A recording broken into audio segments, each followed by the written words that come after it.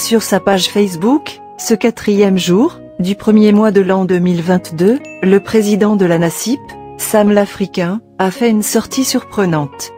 En Afrique la politique, ses tenants et ses aboutissants, sont généralement décriés.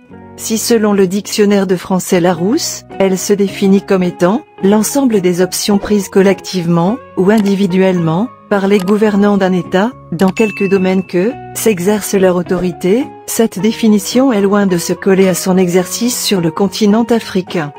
En Côte d'Ivoire par exemple, plusieurs hommes politiques, et observateurs de la vie politique, n'ont de cesse de décrier les actions du pouvoir en place, qu'ils qualifient généralement de mauvais gérants.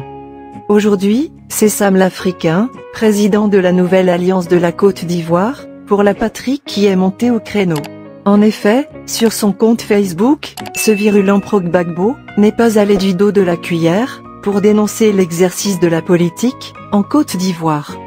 La politique ivoirienne selon moi, n'est plus la politique, mais plutôt, la sorcellerie politique, a-t-il laissé lire avant de continuer. Des hommes sans conviction, ni dignité. Mais de quoi s'agit-il concrètement et pourquoi de telles affirmations?